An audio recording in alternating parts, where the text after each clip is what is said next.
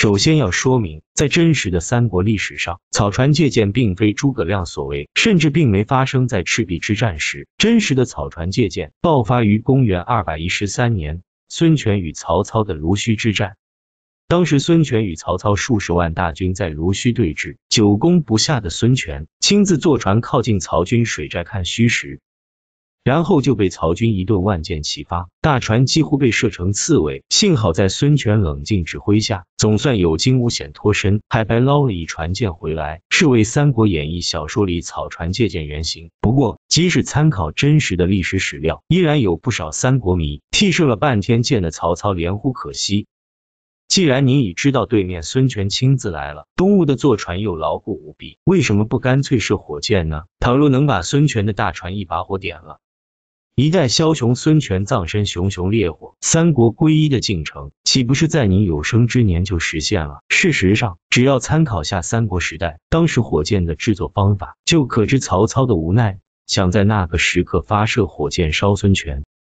那真是个技术难题。三国时代的火箭还不是火药发明后的火药箭，而是以麻布将艾草与油脂绑在箭杆上，点燃后发射出去。那为何当时曹操不用？关键就因火箭的原材料问题——油脂。别看在现代生活里，油脂早是不可缺的生活日用品，但放在提炼技术落后的三国年间，油脂却很金贵。当时的油脂主要是动物油脂，要以水煮法来提取，基本是费心劳力才能提取出一丁点。当然，东汉时也有了植物油，还有初步的榨油技术。三国战场上用的油脂也包括有麻油之类的植物油，但毕竟技术还很粗，产量也有限。典型的高成本装备，只有在战争关键时刻才用，比如三国战争里几次关于使用油脂的记载，个个都是关键时刻。赤壁之战，孙权火烧曹操舰队，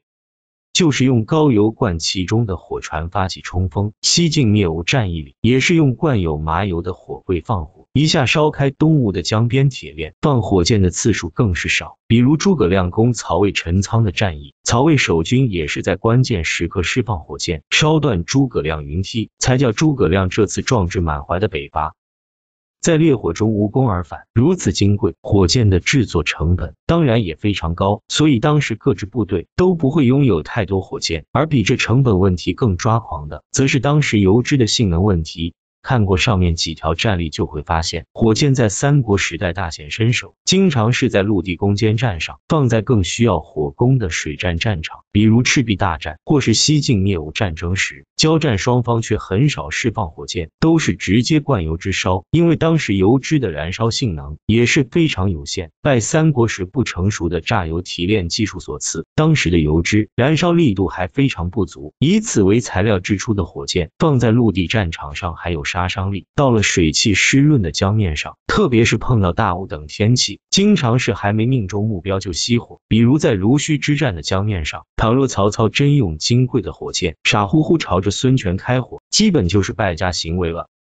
而且就是这燃烧有限的油脂，在三国年间时也无法长期存放，都是战场有需要了，临时紧急制造。一旦存放时间过长，基本就是点不着。因此，当时的战争里，军队很少提早储备火箭，都是在战争期间紧急赶制。所以说，碰上濡须之战时，遭遇孙权的突发情况，就算曹操宁可败家，也要烧孙权。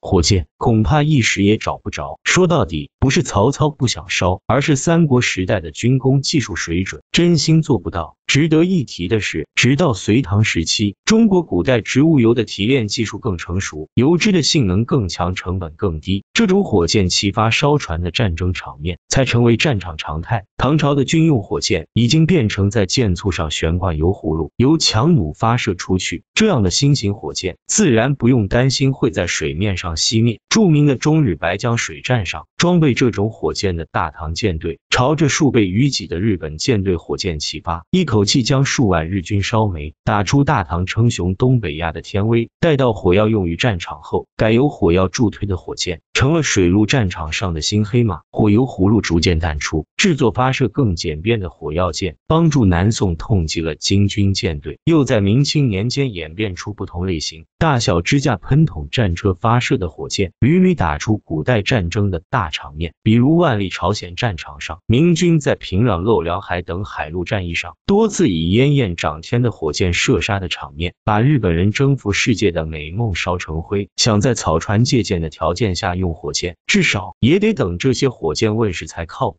军工技术的进步，从古至今都是国家强大的动力。哪怕一支简单的火箭，就足以证明古代中国人代代精进的钻研智慧。